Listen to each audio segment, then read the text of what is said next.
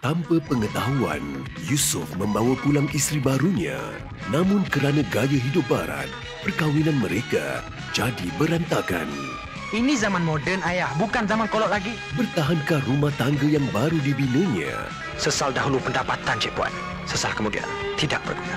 Ribut Barat, Ahad 12 Februari, 8.30 malam. Dalam wayang hujung minggu di TV9, juga di saluran Astro 149.